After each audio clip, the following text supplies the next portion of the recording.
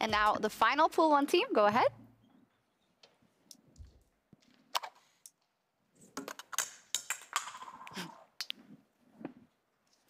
Cloud9 into Group B.